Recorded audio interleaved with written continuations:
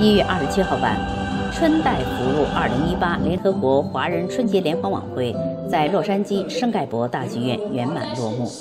历时三个小时的晚会上，来自多个国家的演员如群星璀璨，让百年历史的圣盖博大剧院光彩夺目。国会议员赵美心、加州众议员周本利和加州参议员候选人吴国庆等政要到场祝贺，为获得春晚世界杰出华人奖的获奖者颁奖。近一千五百名观众观看了当晚的文艺演出。一年一度的新春佳节是中华民族最重要的传统节日，以传播中华文化、弘扬民族国粹、宣传“一带一路”战略为宗旨举办的2018联合国华人春节联欢晚会。开场的大型歌舞《彩龙舞东风》惊艳全场观众。中国著名演员黄格选的一首成名曲《春水流》，把所有的观众带回到那个难忘的岁月。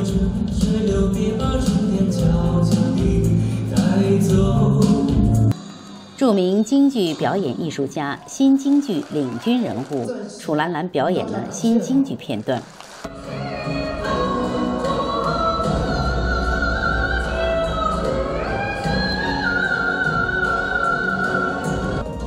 西藏雪域王子嘎让邓真，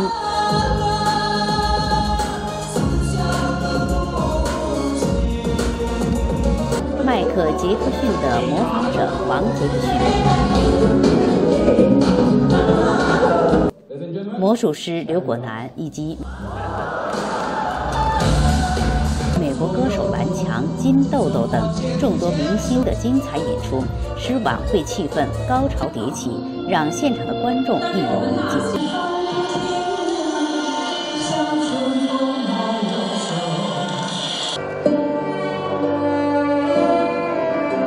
为表彰华人为世界所做出的杰出贡献，晚会专门设立了世界杰出华人奖。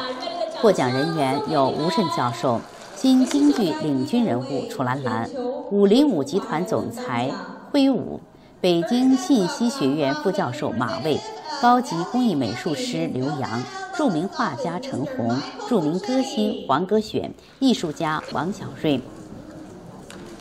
丽苑食品集团董事长李彦山等中美两国的优秀华人代表。国会议员赵敏新、加州众议员周本利和加州参议员候选人吴国庆、核桃市市长苏王秀兰和副市长秦正国。圣盖博市市议员廖清和以及蒙特利公园市前市长刘达强、西可文纳市市议员吴崇怀、拉马瑞达市长艾迪·艾格和市议员 Andrew Cedric 等二十多位政要先后来到演出现场，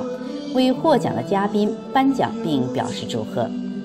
呃，今天这一次很高兴大家来共襄盛举这一次盛宴，我们也很高兴这次邀请了海内外各个华侨、华人同胞。然后来这边一起发扬我们中华文化，然后也弘扬我们的文化给在这里的